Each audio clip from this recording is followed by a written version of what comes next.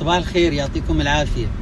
أه بدي أبارك لكل شبابنا الأردنيين ما شاء الله عليهم اللي نجحوا بالتوجيهي وجابوا علامات إشي بيرفع الراس وببيض الوجه.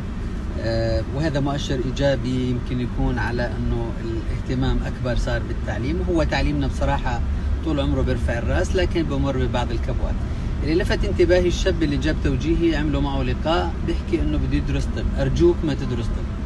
في أطباء كثير. أنت حدا بتجيب علامة كاملة يعني عندك إيجاد حل لأي مشكلة بتواجهها. عندك آه، الاختصاص الأفضل اللي ممكن تدرسه شيء له علاقة بإدارة إدارة الدولة إدارة المؤسسات تعملنا استراتيجي رؤية لبلدنا. شو المشاكل اللي بنواجهها أنت عايشها وكيف نلاقي لها حلول؟ هذه الدراسة اللي أنا بتمنى إنك تدرسها. أما طب وهندسة والتخصصات اللي كل شبابنا دارسينها فهي متوفرة بشكل كبير جدا. الف مبروك إلى كل الشباب.